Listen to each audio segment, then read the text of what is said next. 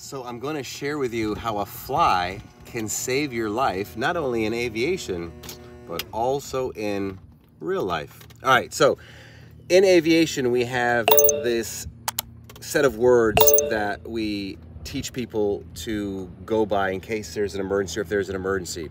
And basically it's fly. So what happens, you get so distracted you, are not sure what you're gonna do, you gotta fly the airplane. So that's the first thing you do. Then you navigate, figure out, okay, where are you going, what's going on. Then you communicate to the tower, hey, mayday, mayday, got a problem. Ready? Oh, sorry, he's gonna start up. Clip up. So it's gonna get a little loud here for a second.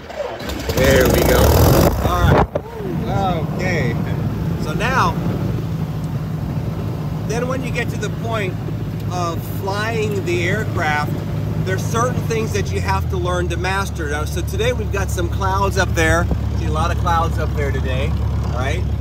And if we go in the clouds, the problem that people have is they, and this is crazy as it sounds, it's really crazy. If you don't have the experience and you get in the cloud, you can't tell up from down. I know it sounds so crazy. I've had people like really arrogant that, you know, relatively what I would consider smart people who weren't very experienced in flying but had their license but hadn't been flying for years I had one guy specifically say, oh, that's not possible. I don't even know how, how, how can you go in the clouds and not tell up from down?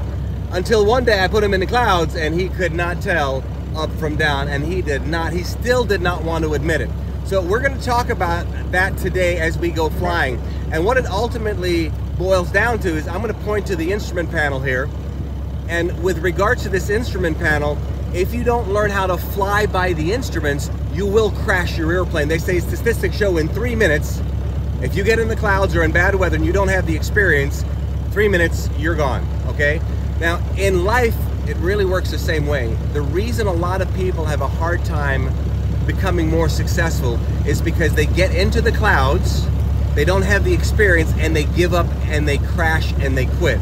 So then how, the next question is, how does a person get the experience to the point where they can fly in the clouds and the, what we call the bad weather? I mean, you got to get to that point because you can't have a perfect day every time you go flying. It's just not reasonable. So how do you do that? You get an instructor, and the instructor puts on what's called a foggle. In other words, the, they give you some glasses, and at the bottom of the glasses are, I should, sorry, the top of the glasses are all fogged up so you can't see outside and you can only see, like I got here in my glasses, you can only see there's a little spot opened up where you can only see the instruments.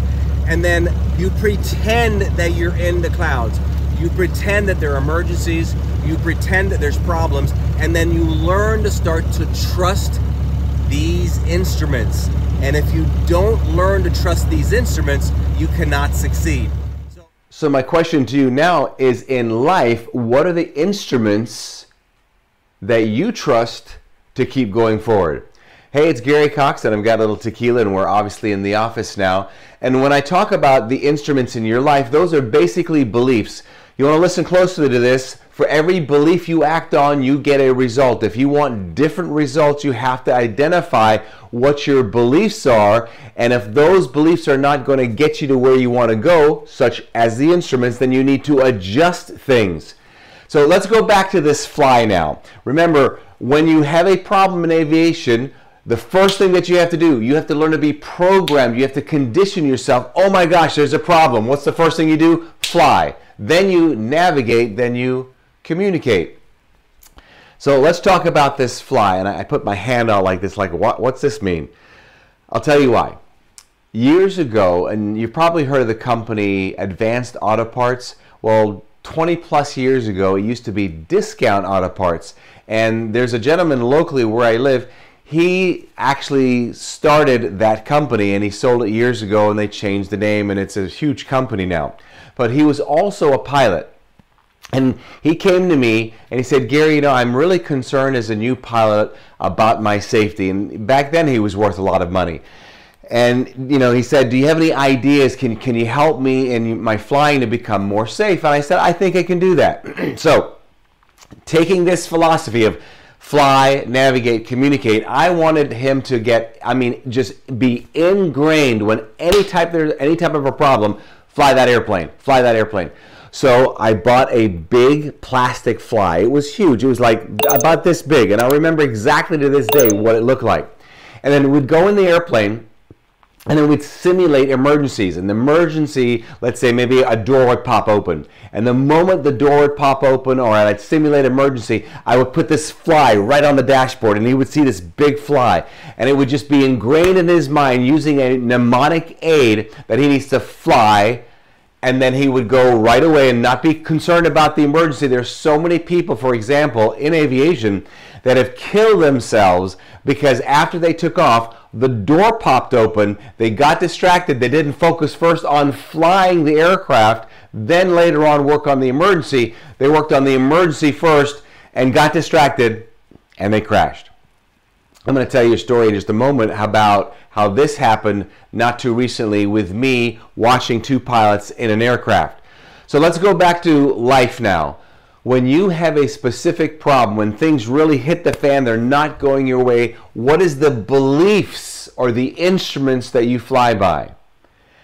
I was very blessed to have a billionaire mentor, and what I learned from him is I would find out if this happens to you or when this happens, how do you think? What is your belief system? I'm looking for what's the belief system that he flies by.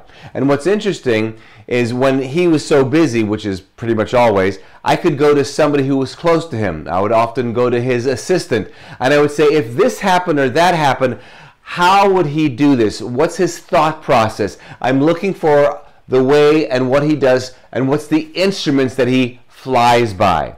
So you need to know what are your beliefs or what are your instruments that you use to circumnavigate and control your life. If you don't know what they are, you see people, they have no control emotionally. And many times, because of that, they're on drugs or alcohol or some other crazy things because they don't have specific instruments or beliefs to circumnavigate the problems that they're experiencing at the time they're experiencing them. So let me go back to this idea of using this fly. So this gentleman, his name was Dennis, that owned this uh, discount auto parts, now Advance Auto Parts. I remember I would take off with him in the airplane, and then without him realizing it and knowing what's going to happen, I would purposely pop the door open. So the doors now popped open, and I would take this big fly and I would slap it right on top of the dashboard so he would know to ignore that problem right now. Let's fly, get everything organized. What's my instruments I need to fly by? And then, once we're a little bit more established, we focus on that particular emergency. Just recently, not too long ago, I was in my airplane there were two other people getting checked out in the airplane, one specifically in the pilot seat, the other person who was watching them and getting them checked out. And I came as an observer. So the three of us in the airplane, very experienced pilots. This pilot takes off. Both pilots didn't recognize that the door wasn't locked. And the moment we take off, poof, the, board, the door pops open and it can get very, very loud. I've happened, have had it happen before. Most pilots, especially you know in the smaller airplanes, they've had it happen before, and it can be very distracting, especially in this airplane because it's loud. The door is very large. So now they're taking off, and I see two pilots immediately getting distracted, dangerous situation, getting distracted with this door open. The first thing that came into my mind, I literally saw that big fly, that big fly that I used 20 plus years ago come right into my mind. And then what I did, we all had headsets on. I had to yell a little louder because of the noise. And I yelled to the pilot in the right seat. I said, You fly the airplane. I made it very distinct what was going on here. You fly the airplane. We'll take care of the emergency. We'll take care of the door. So he focused on the flying, and I watched him to make sure he was stuck on flying that airplane. And then the other pilot and myself, we focused on closing the door. This is the stuff that you want to use in life. You need to have a list of instruments or list of beliefs that you can fly by when problems happen. And if you don't have these list of beliefs, the problem is you're going to be easily distracted, you'll get off course, and then you'll crash sometimes in life. Hope you've enjoyed today's video. We're out of here. Tequila, say goodbye. Between now and the next time we get the chat, you know what to do. And if you don't, you do now. Don't let others rent space in your head. Love to have you subscribe. If you'd like some more information about beliefs or whatever, please feel free to comment below. I look forward to making more videos that you would enjoy. I'm out of here, and thanks again for your time.